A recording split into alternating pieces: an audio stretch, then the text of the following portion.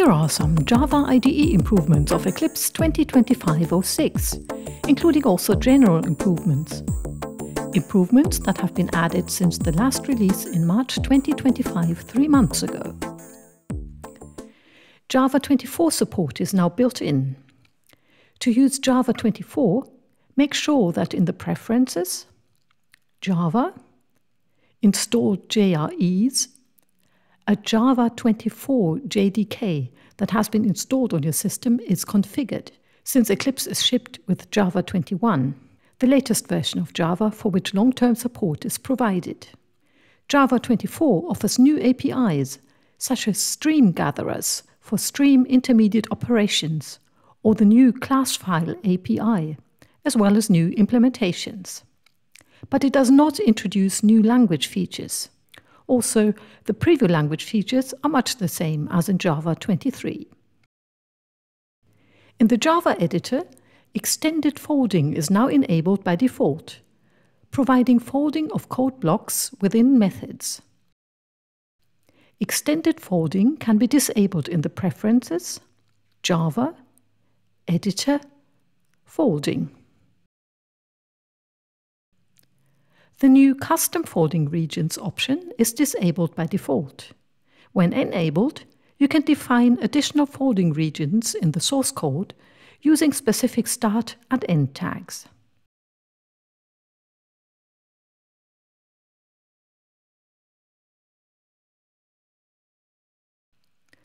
The folding options can now also be set for each project individually. In Project, Properties, Java Editor, Folding. Enter your own start and end tags.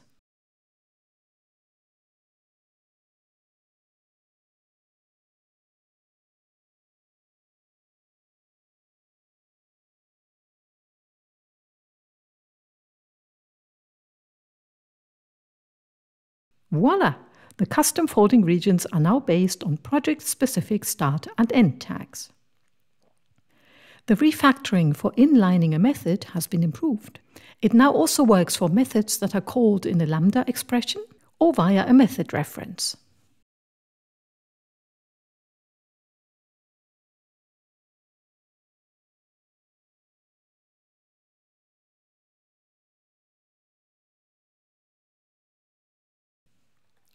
There are two new cleanup functions. In Source, Cleanup, use a configured profile or use a custom profile and hit Configure. In the Cleanups dialog, in the tab Unnecessary Code, tick the checkbox Remove Unnecessary Suppress Warnings tokens in order to remove unnecessary suppress warnings. In the Java Feature tab, Java 21, there is the new cleanup pattern instance of to switch, which was introduced in the previous and has been improved in the current release. It turns an if statement with multiple else if branches using pattern matching with instance of or a null check into a switch expression. Let's apply the two cleanup functions together. As you can see here, unnecessary suppress warnings are removed and the if statement is turned into a switch expression. That's better to read, isn't it?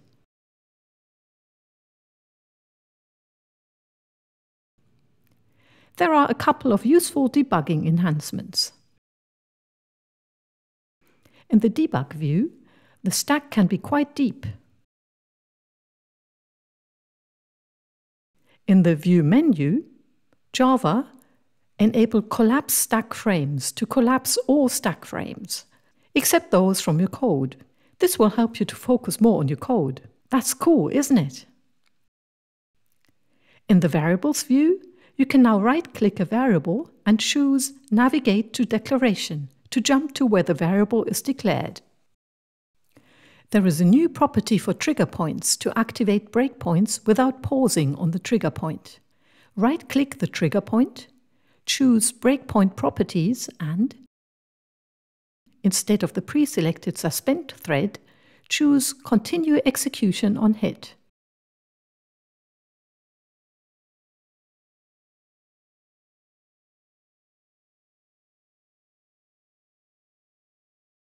As you can see, the thread was not suspended at the trigger point, but at the breakpoint that was activated by the trigger point before.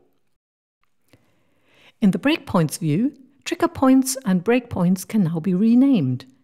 In the right-click menu, choose Label.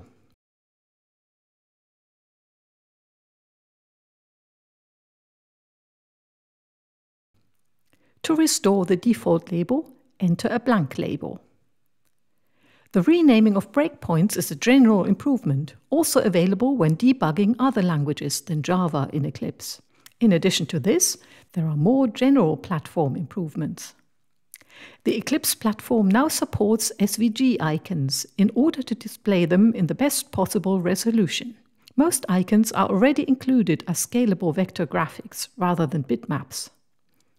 On Windows, monitor-specific UI scaling is now enabled by default. It can be disabled in Window, Preferences, General, Appearance. When enabled, each window is displayed using the best resolution of the monitor rather than using the same resolution for all windows, which may be lower. By default, text files will now be opened with a generic code editor instead of the plain text editor. The same applies to new untitled text files. In contrast to the plain text editor, the generic code editor highlights all occurrences of the currently selected word which can be disabled via the toggle highlight icon.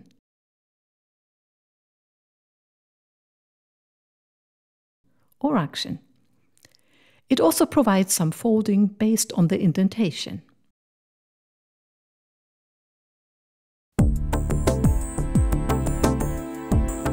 These were some of the Java IDE improvements of the quarterly rolling release June 2025.